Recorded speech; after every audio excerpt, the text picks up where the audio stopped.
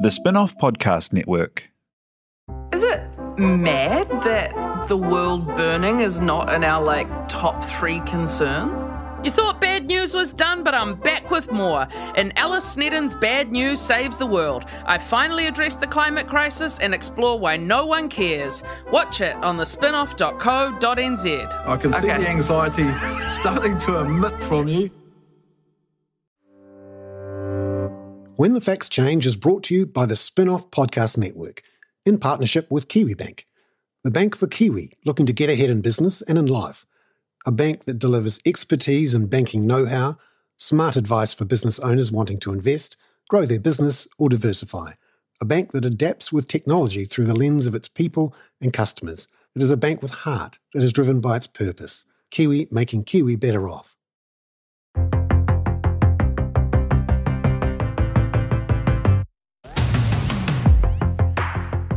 Have you ever heard that phrase, penny wise and pound foolish? Now, we don't tend to use pennies and pounds these days, but it captures the essence of a particular problem that some organisations, governments, people have, where they save money now and think they're being very clever, but actually it costs them a lot more money in the long run. Let's say, for example, you've got a house, it's leaking, and you know basically you're going to have to fix the whole roof. You're going to have to take it off, you're going to have to put it back on with brand new iron, and sure, it's going to cost a lot of money, but in the long run, you're better off if you just replace the whole roof and do a proper job with the maintenance. Or you can buy one of those tubes of sticky goo that you get from Mitre 10 Mega or Bunnings Warehouse, where you squirt the goo in the hole and hope that it lasts just long enough until you can sell the house and hope that nobody notices after you've sold the house. That's penny wise and pound foolish. And sometimes it works. It really needs you to be able to flick the asset on before anyone works out that you've underinvested in the maintenance. And sometimes that's that makes sense. And sometimes maybe the roof will last a lot longer than you think and you can sweat that asset for even longer. And maybe, you know, a few spots of rain on the floor don't matter that much. Perhaps, you know, it helps give a bit of extra humidity to the house.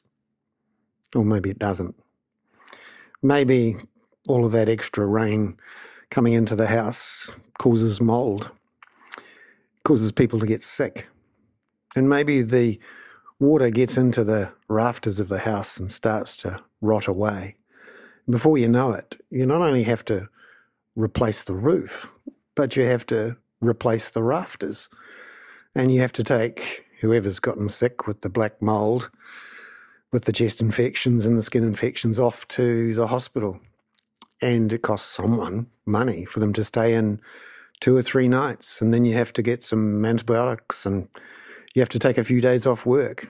And then you realize actually deciding not to replace the roof seemed like a good idea at the time, but it's cost me a lot more money in the long run. And it's cost other people as well who actually had no say in that decision.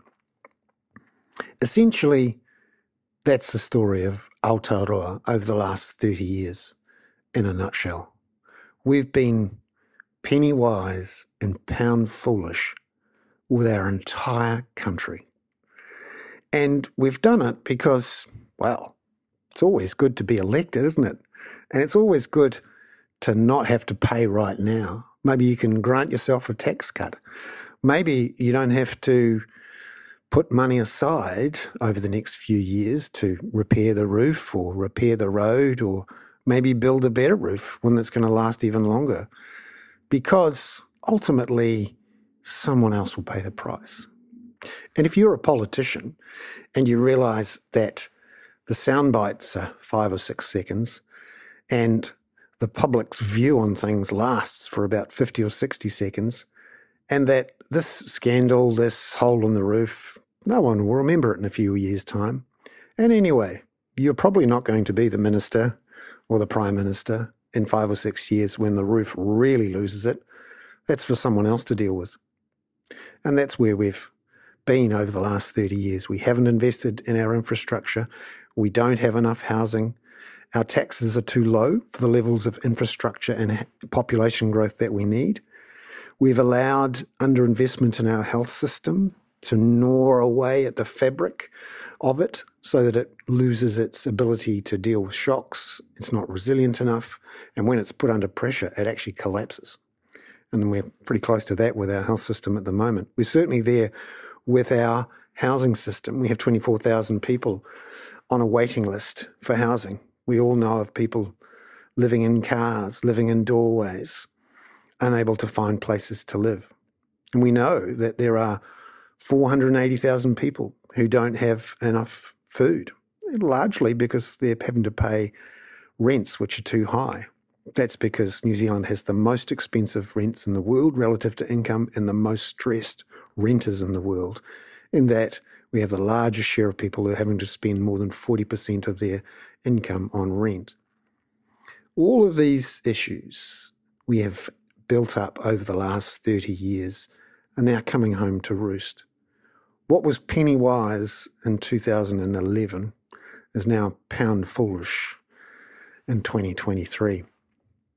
This week on When the Facts Change, we're going to talk about well-being and we're going to talk a lot about the real costs of things in the long run and how you make decisions as a society, as a government, as voters about trying not to be penny wise and pound foolish and how you can use this idea of well-being to try to reframe these decisions, which are often based around purely financial thoughts. How much is it going to cost me to repair the roof? Surely that tube of goo is much cheaper right now. And if I don't have to spend money on the roof, maybe I can go on go on a holiday next year.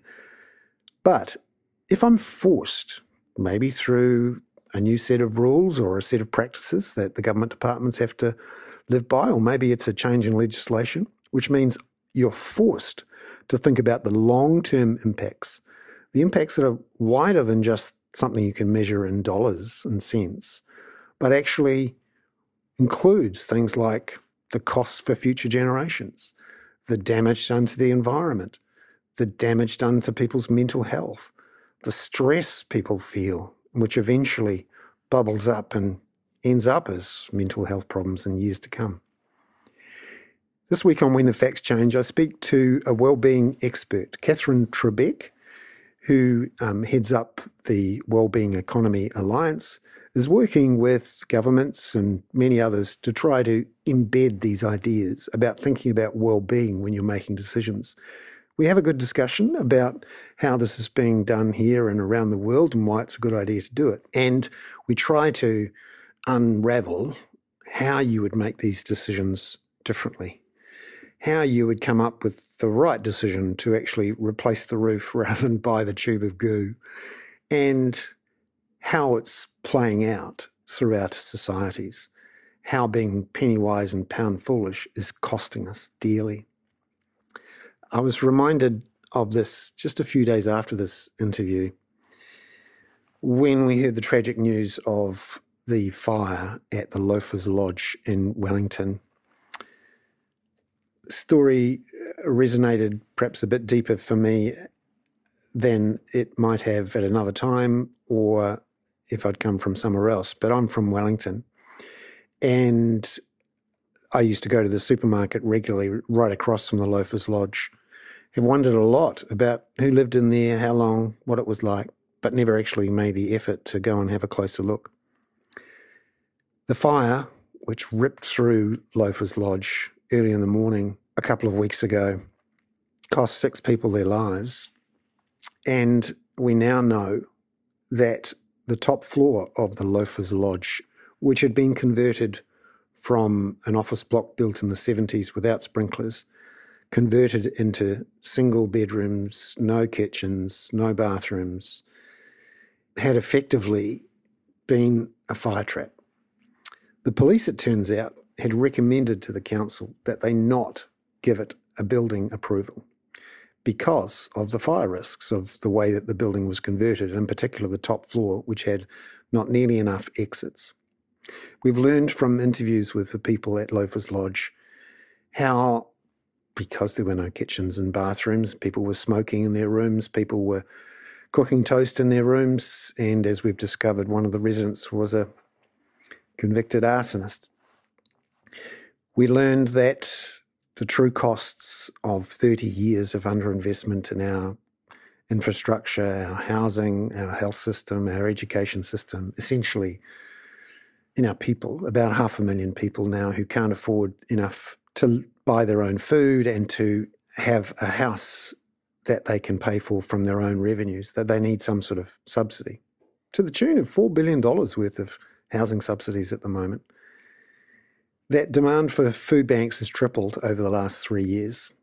And we have to ask ourselves uh, what do we do now to turn around this penny wise and pound foolish approach and instead focus on the longer run? It is possible if you're a financial type in Treasury to actually quantify the costs over the long run that are wider than just the cost of building something right now. You can, for example, look at the liabilities built up in your health system from not investing properly in your housing system. You can work out what are the lost opportunity costs of not investing in your people. You can start to understand what pound foolish actually means. How many pounds foolish are you? We're starting to get a sense of it. The work's been done in the last couple of years to find out that we have an infrastructure deficit of $100 billion and that we need to invest at least another $100 billion to keep up with population growth of 0.5% per year. Currently, it's running at 2% per year, and we have to invest heavily. Interestingly, our current government has said that we can't afford that. What they're actually saying is that we've decided we want low taxes, low investment, low wages, low productivity, poor well-being more than we want to invest, to have higher taxes, to invest more, to consume less now in the long run. And until we start to unpack the true costs of our underinvestment, it's going to be hard to put these things into a bright light and make decisions about them as politicians, as voters, and ultimately as citizens of a country that has been corroded and eroded and underinvested and weakened for 30 years and which has built enormous as yet undiscovered liabilities under the surface in the future. That's this week on When the Facts Change.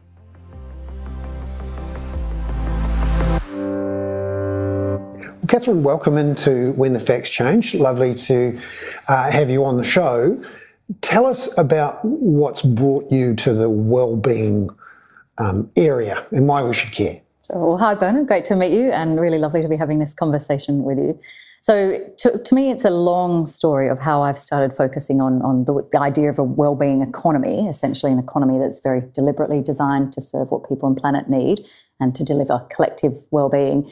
I spent a long time working in Oxfam and I was living in Glasgow at the time, and there's huge health inequalities there.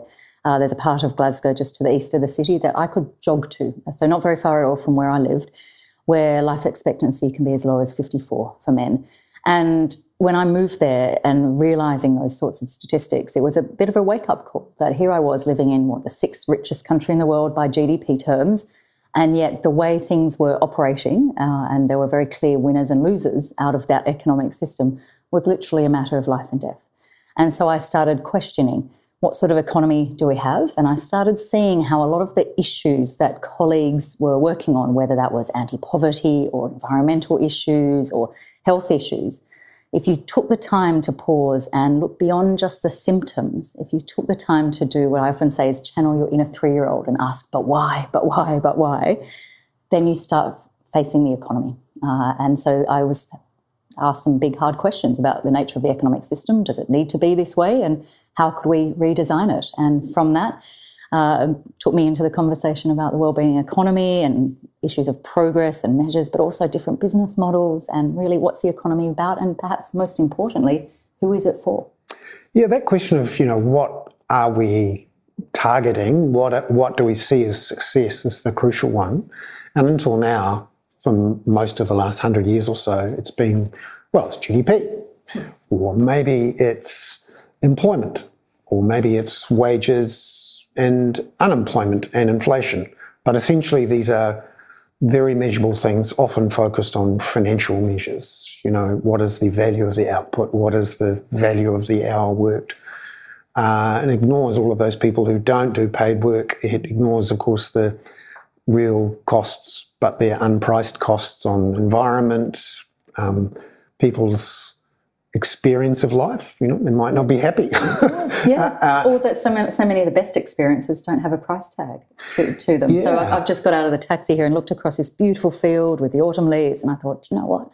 Gee, I'd love to just walk around that field and soak up um, the wind and the rain and get, you know, sit under a tree for a bit. And that would have been great for my well-being. Wouldn't have cost anything. Yeah. So how do we incorporate all of these non-financial measures? Into the way that we organise ourselves and value things and make decisions about who gets resources and who doesn't. If I can answer your question in, from a bit of a different direction uh, for, for, a moment, is that so many of these things that are really important to people's quality of life, and I, I like to think of well-being as essentially about quality of life in, in all its dimensions they have a very real material basis. So the economy really impacts. Do people have time to, say, walk around a field and sit under a tree? Because if they're having to work two or three jobs on low wages, they won't have time to do that. If they're worried about their houses being flooded, as we've seen so frequently here, here in Auckland, they, they were going to feel very, very stressed. But those floods are exacerbated by climate change, which is exacerbated by the production and consumption systems that have been built up over decades. So there's the economic root of that stress, that climate anxiety. But if you looked well. at it in a purely economic sense, a flood is a great thing. You just had a lot of extra spend, spending yes. on, on fixing the windows and and, and the cleaning. emergency services over time yeah. and the insurance premiums and, and so on. And, and that is a really good example, Bernard, of, of what folks are starting to call failure demand or avoidable costs. And this is this idea that more spending on something, more demand for a resource, particularly here, you know, government services, is not necessarily a sign of success. Often, and, and tell you what, when you start looking at government announcements, you in, through this lens, you'll see it all the time. That often what governments are celebrating is look how much we're spending on the police, look how much we're spending on more and more hospitals. Maybe that's because we're feeling less safe and we're feel we're unhealthy. And so maybe that spending is downstream, responsive, remedial repair work where actually, and this is very at the very heart of what the wellbeing economy agenda is about, is surely we can do better than that. Surely we can do better than just putting sticking plasters and band-aids on the collateral damage. And I don't want to denigrate that downstream support because it's absolutely important helping people and planet survive and cope today and tomorrow. So it's not it's not disparaging of that, but it's to say we have to do more than just going symptom by symptom, crisis by crisis. We have to take the time to understand what are the patterns that connect them and then look upstream and think about okay what what are the root causes of some of these challenges? What why are we seeing more and more people sleeping rough in our streets and sleeping in doorways in our capital cities? Why are young people scared for their future and coming out of their classrooms to, to strike? Why are we seeing this epidemic of loneliness that was being discussed on the, on the news today? So the idea of the wellbeing economy is essentially daring to ask why and being bold enough to take action up there at root causes. So, how do you flip the um, equations and allow decision makers, analysts, politicians, voters to look at things in a different way? Because at the moment, we, we look at things and go, well, there's a set amount of money that a government has, and it has to do a, the things that it desperately needs to do right now. And, you know, when there are people who are sick, we have to look after them, yeah. or um, people who've just committed a crime, we have to put them in prison.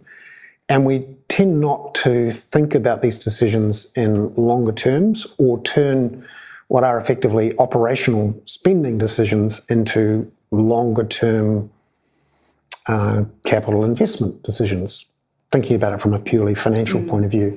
How do you change the equations away from short term?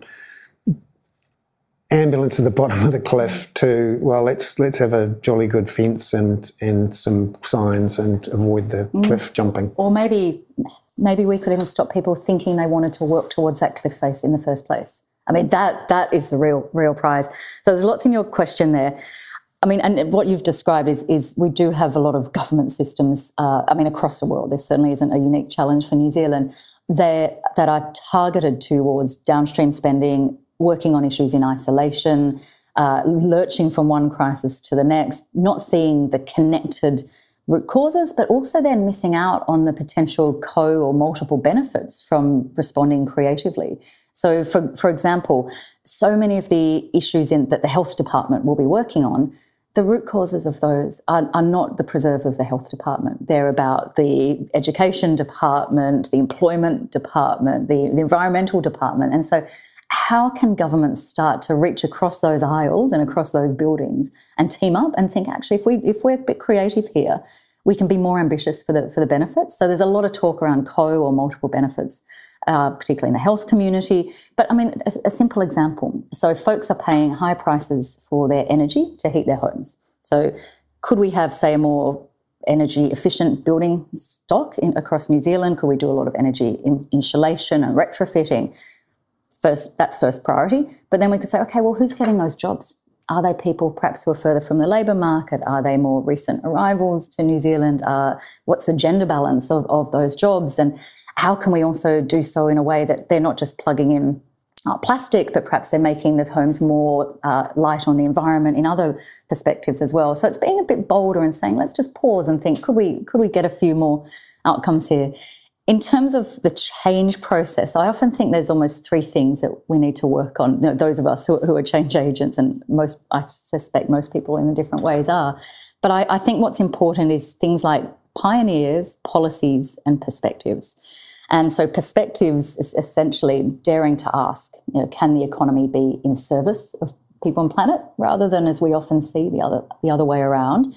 Uh, can we realign the goal of government uh, and the goal of the economy to deliver what people and planet need. And that, that then means we're running a very, very different ruler over policy analysis, policy evaluation, and timeframes. And incidentally, as you've mentioned, the capital budget, folks spending the capital budget are pretty good at thinking long term. We just need to bring that way of thinking over to the over to the other, the, you know, the current account.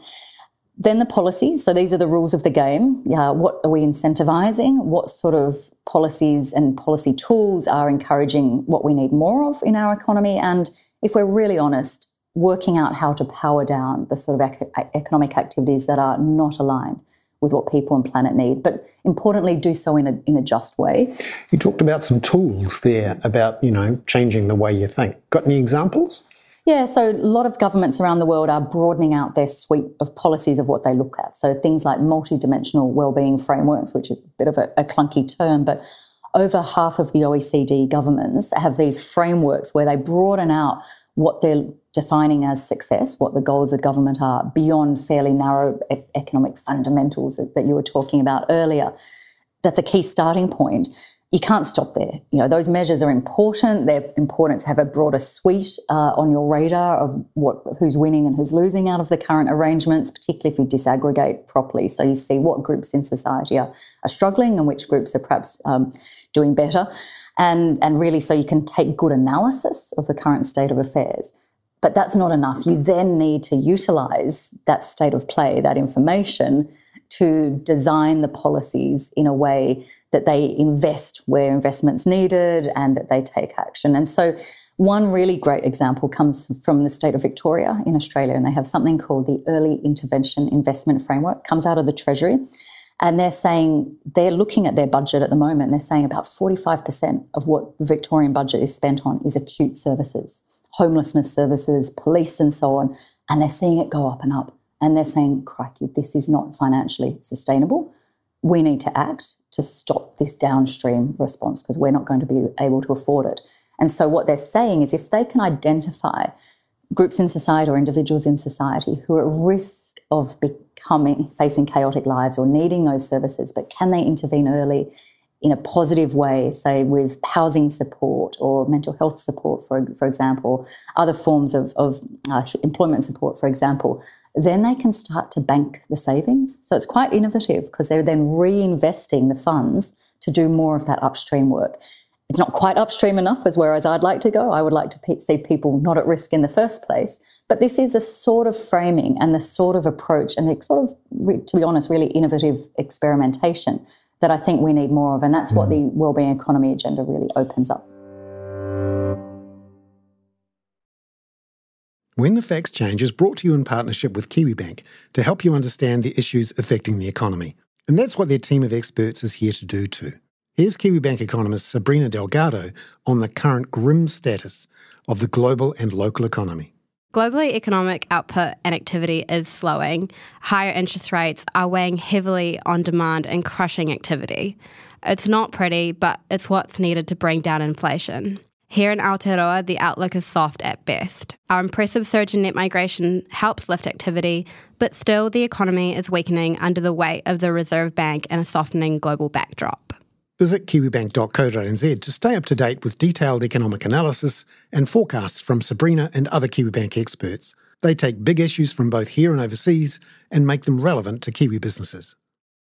Are you making the most of your KiwiSaver investment? Generate is an award winning KiwiSaver provider with a track record of strong long term performance. Making a smart decision now could add tens of thousands of dollars by the time you reach retirement. Book a no obligation chat with a Generate KiwiSaver advisor today at generatekiwisaver.co.nz slash get advice. A copy of the product disclosure statement is available at generatekiwisaver.co.nz. The issuer of the scheme is Generate Investment Management Limited, and of course, past performance does not guarantee future returns.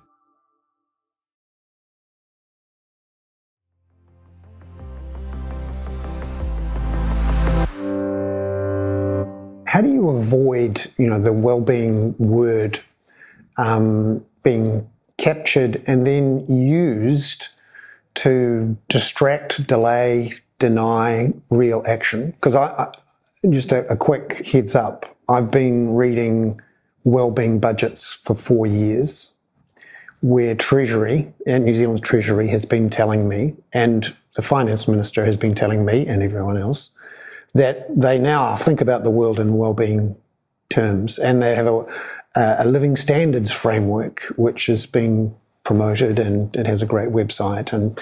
Everyone says, Yep, I'm thinking about the environment, I'm thinking about the externalities, I'm thinking about all these things. And then the same decisions get made. And when you actually look at the cabinet papers of the actual advice that's been given to the ministers and the, the way that decisions are framed, it's the same old well, we've got to run a budget surplus, we've got to keep government spending down. Uh, yes, we have to deal with this, um, these people who are at the bottom of the cliff, but we don't have time and we don't have money um, to invest in people who probably don't deserve it. And there's a whole bunch of median voters who won't let us invest in those people anyway. So we'll just talk a good game on well-being for a few years, hope that nobody notices, and then um, uh, that's another four or five years wasted. Yeah, and there's a couple of elements in in your question there. So, so one is that this is hard, and so if we take in good faith the the intentions, we know that it's going to take some time to change the machinery of government and to roll this out across all government departments. And there'll, there'll be plenty of people within government. I often call them policy entrepreneurs, or um, Sophie Howe, the Future Generations Commissioner from, from Wales, who's just left her post, has called them frustrated champions. There'll be plenty of people within the corridors of power who understand that business as usual is not good enough and they want to utilize their role within government to make changes. And so often they can really use that rhetoric and that language to push forward a bit more. But often they're the exception that proves the rule. And so I don't think we should kid ourselves that changing all the heuristics, all the incentive systems, all the processes, all the personal evaluation and even promotion mechanisms that are ingrained within government is going to be easy. It's not a simple flick of the light switch. There, have been um, useful tricks, I suppose, new heuristics that have been plugged into government. And in fact, New Zealand was one of the first to start, for example, using um, uh, corporate accounting methods and systems to judge performance of government. So you had a, a profit and loss type of sheet, you had a a balance sheet with assets and liabilities and you measured performance on, well, that's a bit like a profit and loss. If you've got a if you've got a surplus, that's a good thing. That's like a profit. and, you know, if you're able to, you know, reduce your debt, you know, suddenly you've got higher net worth as a government. And so the framing of it was very much let's use these tools of accountability to drive different types of behavior. Are there other tools that you could use, or maybe converting the existing tools to change the framing so that instead of saying our main aim is to run budget surpluses and to reduce government debt, instead our main aim is to um, uh, reduce the future health liability or to increase the future productivity dividend of having a healthier uh, workforce. How do you, you know, change the heuristics? Uh, well, it's a really good example, actually, how we define what is an asset, what is a cost, what's a benefit. So even just those terms are hugely loaded, aren't they? And, and so if people are not given permission to think more broadly when they're doing their cost benefit analysis, for example, when they're defining what's an asset. I mean, is an asset a bridge or is it a healthy environment? Is it a healthy ecosystem? Is it healthy rivers? Until people are able to start taking that that very much broader view. And so that comes back to the, you know, the point earlier around it's about also about perspectives and, and mindsets. And they take a while to, to change. You know, this is sort of the culture change. So yes, you need the hardwiring of government. And and New Zealand actually I'd say others have been, you know, taken a, a leaf out of New Zealand's book in that New Zealand did change the State Sector Act, it did change the Public Finance Act. So it started to change some of the hardwiring of government. But if you don't change people's mindsets and the culture, all those structures will just become stale and stagnant. So you need you need both tasks as, as well. You mentioned earlier the, the risk of well-being washing, and and I think that's that's also something really worth dwelling on because. I, well-being's a broad term, isn't it? And and I, I get media alerts for when well-being's in the news, and every, every you know, one in five is say the Hyatt has opened a new wellness spa, and I you know roll my eyes and delete it very quickly. But but it's quite seriously, there's there's a broad church of how well-being is defined. I tend to think of it as almost two SCs. There's almost this duality, these two SCs, and so one is that comes from proponents who'd say we can take a very narrow uh, view of well-being. It's all about individual subjective well-being. So Bernard, on a scale of one to ten, how happy do you feel? And and that's part of it. But my my concern is to with too much of a narrow focus on that understanding of well-being. It often puts all the onus of change on the individual. Uh, it, it ignores adaptive preferences, but it very much says if we can just treat individuals through therapy or other forms of treatment, then we can leave the structures that are causing them harm, harm or making them anxious or making them feel their lives are out of control because of that, you know, they're being used as just, in time inventory in the gig economy, for example, we can use leave them untouched. So it's almost a system preservation agenda, where the proponents probably don't mean it that way, but that's how it plays out. So that brings us to the other SC, which is system change. And that's again where the wellbeing economy agenda is unashamedly situated. It's saying, yes, let's help people survive and cope today and tomorrow, that acute needs that we were, we were talking about earlier. But again, let's look at the circumstances in which people can live good lives. And, and so, for example, there's a lot of talk at the moment about child well-being. Mm. I often think if we're really serious about child well-being, we can't just look at children. We need to look at how are their families faring, what's the labour market like that their families are facing, what are the issues of inequality and injustices, what's the local environment like, do they feel safe working through their park, can they go out to play, are the streets polluted, and so on. And so, again, this is really doing that channeling the, the inner three year old, as I said earlier, and looking upstream and looking more broadly. So that's that is absolutely front and centre of what the wellbeing economy agenda is about. Just finally, you know, if you were um, suggesting to people ways and tools and things to plug into the system, if you like, to try to get things moving forward, what sort of ideas would you put forward um, in terms of reforming accounting, financial? Targets? You know, what, what sort of techniques could you plug into the system? Yeah, so there's four areas of action that I tend to think about. And to be honest, it's like a jigsaw puzzle of changes we're going to need to transform the economy. And fortunately, lots of people are working on different pieces of that jigsaw puzzle. So no single person needs to cover them all. And I'm certainly not an expert uh, in, in any of them, really. I like to see them all, all joined up. But I, how I cluster that jigsaw puzzle of changes is, you know, with a jigsaw puzzle, you start with the corners.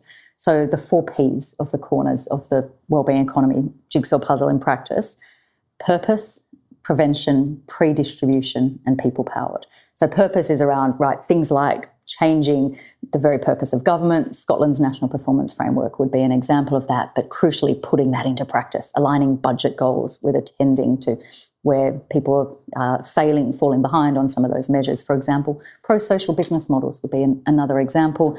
All sorts of things in, in that corner. Next one is around prevention, and we've talked a bit about that. But another practical example the more circular our production and consumption systems are, the fewer beach cleanups we'll need, uh, the more jobs deliver sense of meaning and purpose and dignity and control, the less anti anxiety treatments our doctors will be prescribing. And, and folks will be able to think of their own examples there.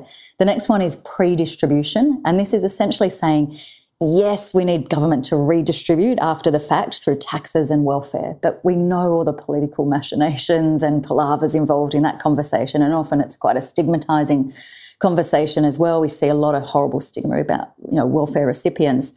Pre-distribution is essentially saying, how can the economy do more of the heavy lifting? delivering more equal outcomes from the beginning. So things like worker cooperatives, where you have the, uh, the, workers owning the capital, things like community wealth building, where you're generating local economic multipliers through local jobs, procuring, procuring to local firms, just getting, rather than waiting for trickle down, generating economic activity from the community up. And there's lots of good examples around the world where that's really being taken seriously. Also, things like true cost accounting. So we're not seeing falsely cheap uh, goods and services because we've conveniently ignored the environmental cost of, of an item. And then the final one, people powered, essentially really making sure that people are at the forefront of decisions that affect them. And some really good examples from around the world, whether that's participatory budgeting or citizens' assemblies, or again, worker co ops that are starting to democratize the workplace, are really great examples. So different people in their different spheres of influence will gravitate to different pieces of that jigsaw puzzle, fortunately, because there's a lot of change needed. I think the key thing is to really think about what's the ultimate goal that we're all looking for, and, and everyone will bring something different to that party.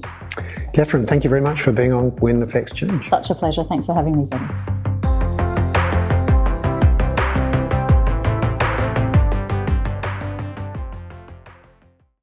When the Facts Change was brought to you by the Spinoff Podcast Network, together with KiwiBank.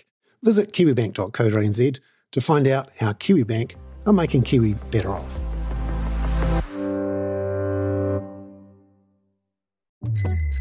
Ready to rediscover the joys of cycling? With over 300 kilometres of cycle paths across Tamaki Makaurau, jumping on your bike and going for a ride is such a fun way to discover the city from a different perspective. Cycling is getting more and more popular across Auckland, so now's a great time to join the hype and give cycling a go. Head to at.govt forward slash cycling to find your nearest cycleway today. The Spinoff Podcast Network.